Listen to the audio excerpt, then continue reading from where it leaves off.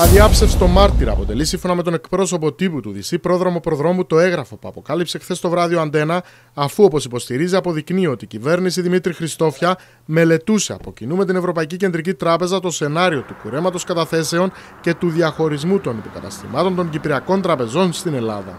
Υπάρχουν λεπτομερείς μελέτες και αριθμοί στο έγγραφο αυτό για το πώς θα απομονωνόταν η Κύπρος. Εκείνο που έλειπε δυστυχώς ήταν η εθνική ευθύνη, η υπευθυνότητα εκείνης της κυβέρνησης να ενημερώσει τον επόμενο πρόεδρο.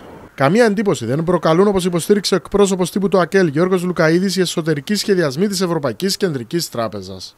Σε αυτόν τον σχεδιασμό, οι εταίροι μας υπολόγιζαν πάρα πολύ στο ότι θα είχαν ένα συνεργάσιμο πρόεδρο, νέο πρόεδρο της Κυπριακής Δημοκρατίας. Και δυστυχώς αυτό είναι που τελικά συνέβη.